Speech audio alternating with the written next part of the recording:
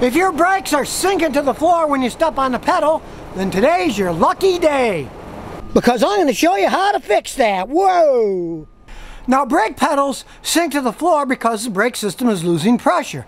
The first thing you want to do is check for leaks. Check all the wheels to see if there's any fluid leaking there. Now this Nissan's pretty easy to check at the wheels because it's got these slotted hubs. There's nothing leaking on this side or inside here on this side or inside the front left wheel or the front right wheel. They're all dry inside where the brake caliper is. And when I look under the car, I don't see any brake fluid leaking anywhere down on any of the hoses or lines. Now that generally means that the brake master cylinder here is leaking inside. When old, they often leak like a leaking heart, where they'll leak inside themselves. They won't have any external leaks, but the inside leaks and makes the pedal go down. Now, since we couldn't find anything leaking anywhere, odds are the master cylinder's gone bad inside and we're going to replace it.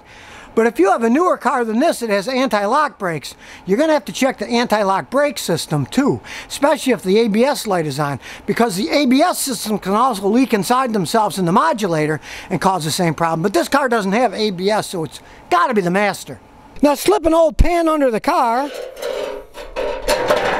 so it'll catch any brake fluid that leaks. Then unbolt all the lines, and to get the lines off, I find these crowfoot wrenches work really good. This is a 10 millimeter. You just stick it over the line where the bolt is and pull. Then you get the rest off with your fingers. It's easy then. Take all the lines off.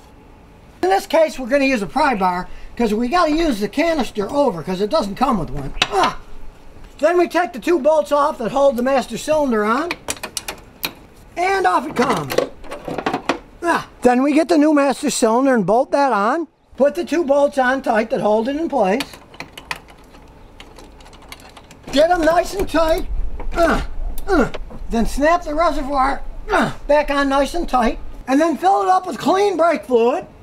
And then comes a trick I learned years ago. I'm going to bleed it just at the master cylinder so we don't have to mess with the wheels. And you do it like this. You just start the lines and put them on finger tight.